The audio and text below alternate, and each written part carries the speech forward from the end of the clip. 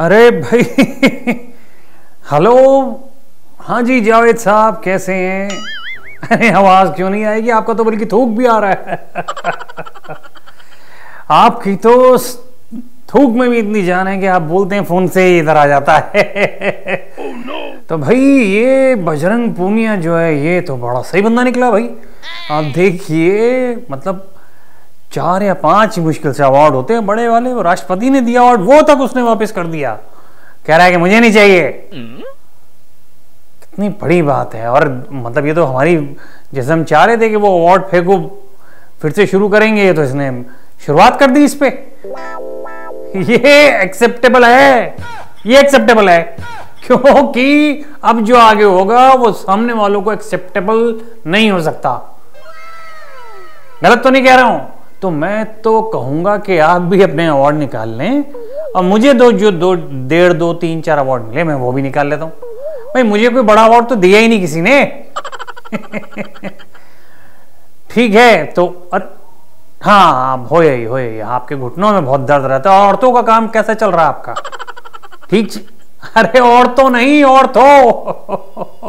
और तेल लगाते रहते हैं ना आप। सही जगह हाँ ठीक है चलिए ठीक है ठीक है।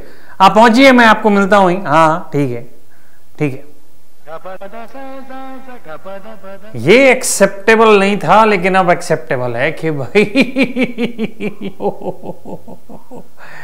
थोड़ी सी ओवर कर रहा हूँ, क्योंकि एक्टिंग करने का मौका ही नहीं मिलता कहीं पे भी। ना कोई ओटीटी पे लेता है, ना फ़िल्म ना नाटकों में, ना कहीं और। फ़िल्म में तो बहुत दूर की बात है।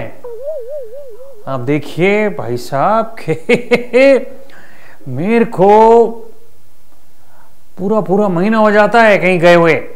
काम ही नहीं है।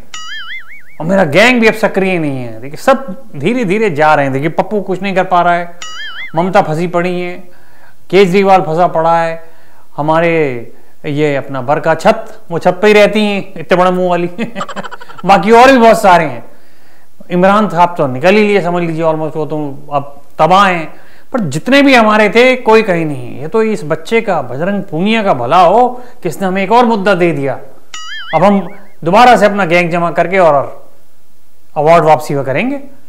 मैं भी करूँगा अपना अवार्ड वापस। अरे, वो वाला जो खरीदा हुआ है, तुम तुम चुप रहा करो, तुम बीच में मत बोला करो। मेरे को वीडियो बनानी है। बात करनी है मुझे लोगों से। हाँ एडिटर साहब, ये एडिट कर दीजिएगा वरना दिक्कत हो जाएगी। हाँ क्या, कहाँ पे था? हाँ मैं था बजरंग पूनिया पे, भाई वाह। इस बंदे ने जो शुरुआत की है ना, अब दोबारा से के ले लो मेरा अवार्ड मुझे नहीं चाहिए। और उसके साथ में और भी जो हैं, हर कोई ये आ गया कि हम पहलवानों को तो सही पहलवानी ये हो रही है।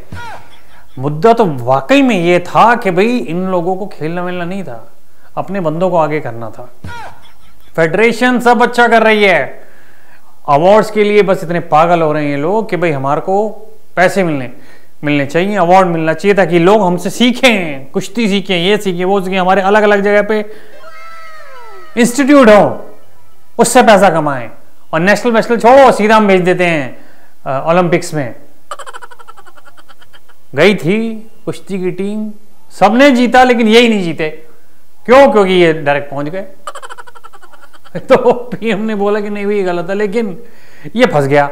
बजरंग पूनिया, और आपको तो पता ही, जिसका कोई नहीं होता, उस फंसे हुए का हम जैसे होते हैं। और हमारे पास काम ही क्या है?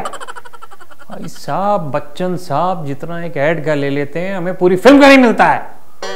और वो भी किस्तों में। हमसे मुझसे तो कहते हैं कि आप ओटीपी पे भी किस्तें मान लीजिए। और हर महीने आपके पास पंद्रह हज़ार रुपए पहुँच जाएँगे। आप देख लीजिए काम करना है तो कीजिए, नहीं तो माफ़ी चाहूँगा, माँ भी एकदम से बोलने वाला था, नहीं बोलूँगा, ठीक है, वो करवाइए, जो भी करवाना है। तो ये देखिए आप, इन लोगों को बजरंग पुनिया जैसे लोगों को भी अगर हमारे जैसा बनना है तो ये आप ऑटोमेटिकली आ गए हमारे पास। अवार्ड दे करके तो मुझे यही है। पीएम साहब, असली कबड्डी तो ये पूनिया खेल रहा है आपके साथ।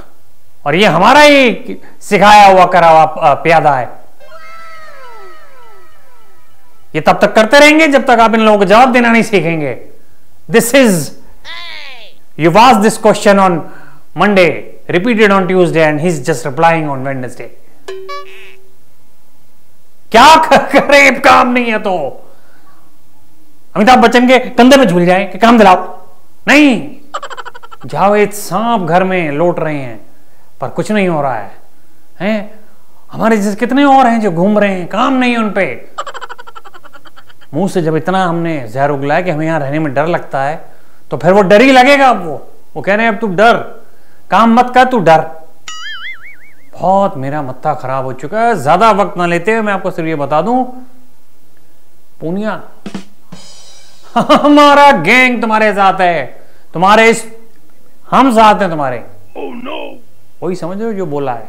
साइलेंट करते पागल हूँ तो मैं बेवकूफ़ हूँ मैं। डिस्क्लेमर लगाना भूल गया लड़का तो फिर मैं अंदर हो जाऊँगा। अभी तो सिर्फ़ काम नहीं है, फिर उसके बाद मेरे पास सांस भी नहीं होगी। बाय एंड गॉड ब्लेस इस वीडियो को अगर नहीं देखा तो ये एक्सेप्टेबल नहीं होगा। Pardon me